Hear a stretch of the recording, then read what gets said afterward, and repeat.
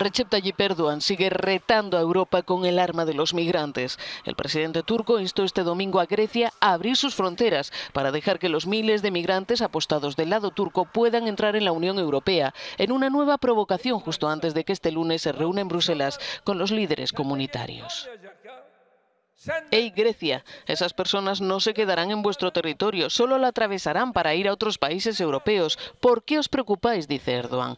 Grecia, ¿por qué no abres tú también las puertas y te libras de esa carga? Este domingo la policía griega volvió a cargar contra grupos de jóvenes migrantes que trataban de asaltar la valla fronteriza en el paso de Pazarcule. Ankara, que acusa a Grecia de maltratar a los migrantes, ha publicado imágenes que muestran supuestamente a un agente griego disparando contra ellos.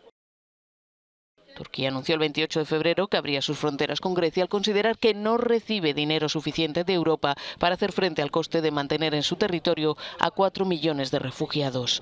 Aunque con la maniobra Erdogan busca también obtener apoyo europeo para sus operaciones militares en el norte de Siria. Este lunes se reunirá en Bruselas con el presidente del Consejo Europeo Charles Michel y la presidenta de la Comisión Ursula von der Leyen.